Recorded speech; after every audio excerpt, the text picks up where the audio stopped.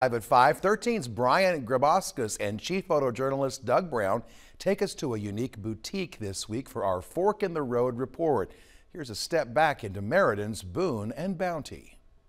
Boone and Bounty's been open for a little over a year now, offering a fresh, homemade selection of food and curated goods. We cook all of our food in-house, we roast our beans in-house, and we do our clothing in-house. So everything that we have has been touched by everyone that works here. Every week you get online and just see what they have for the week and it's always something different and good. Boone and Bounty has a shifting menu, offering something new every week. Though the boutique isn't without its own staples like the Mammoth Burrito.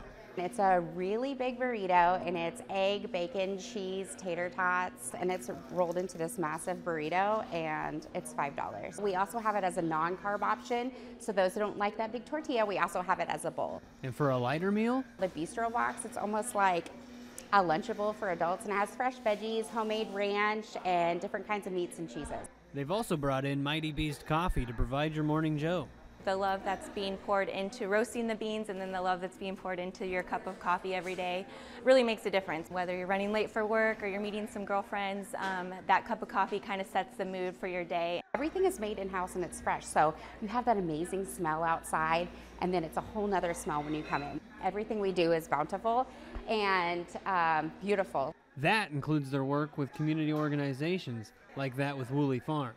Boone and Bounty employs a scoop troop that collects work experience and proceeds as they dish out ice cream to customers. We give wherever we can just so we can get one, our name out there and show the love that the community shows to us, we give it right back. The community seems happy to have them. It's something special in our little town that um, just kind of stands out. You have to experience what this brings because it is something different that you kind of haven't seen around this area at all. Everything that's put in um, there's been time taken into everything we order. We order everything that you can't just get off of Amazon or Walmart or anything like that. So that makes us special to stop in here, get a birthday gift for someone that's unique and special, and it came from Boone and Bounty.